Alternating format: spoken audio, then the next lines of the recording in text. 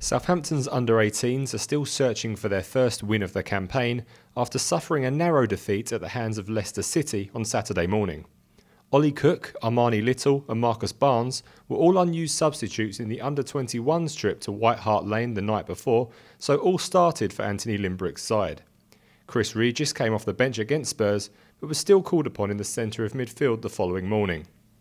The visitors had the first chance of the match when they wriggled through into the box, but Harry Isted and Richard Bakary held strong to put the ball behind. Just a few minutes later, Saints had a penalty. It was Mark Irvine who was clattered by the goalkeeper as he ran down the right side of the box. Marcus Barnes stepped up but fired his spot kick straight over the crossbar. Leicester had a good chance from a tight angle, but again Isted and Bakary held firm to deny the near post effort.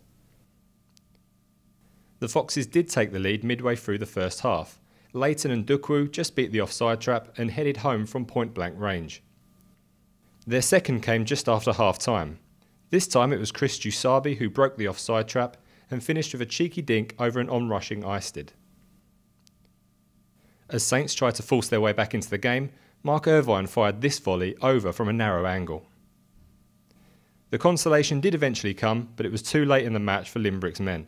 Stuart Wilkins' cross was ricocheted into the path of Marcus Barnes, who made no mistake from the edge of the six yard box.